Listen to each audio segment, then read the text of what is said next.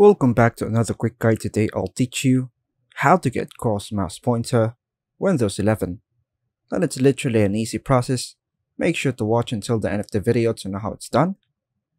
To change the mouse pointer to a crosshair or cross pointer on Windows 11 you can use the built-in settings or download custom cursor themes. Here's how you can do it. Using built-in settings Windows 11 doesn't have a crosshair cursor by default, but you can change your cursor to something more noticeable by following these steps. Press Win plus I to open the settings app.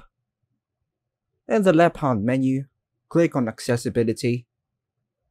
Navigate to Mouse under the related settings. Go to the mouse, then go to Additional Mouse Settings then go to pointers. Then just choose the resemblance of a pointer. Next method, let's download and install custom crosshair cursor. To get a true crosshair cursor, you'll need to download the custom cursor pack. Here's how to do it. Firstly, search for crosshair cursor pack on the web, websites like DeviantArt, or for a variety of cursor packs. Just follow the prompts to download the cursor pack that contains the crosshair pointer. Click the pop-up File in the top right. Now, if the cursor pack is in a zip file, click on the file and choose Extract All to extract the contents. In Accessibility, go to Mouse Pointer and touch. Then go to mouse.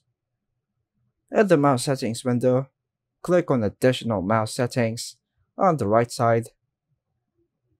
And the mouse properties window, go to the pointers tab. Choose the normal select cursor and click on browse. Navigate to the folder where you extracted the cursor files. Choose the crosshair cursor file and click open feed for other cursor types is desired. Click Apply and hit OK to save the changes. By following these steps, you can change your mouse pointer to a crosshair or any other custom cursor on Windows 11. And that's all for now folks. Thanks for watching.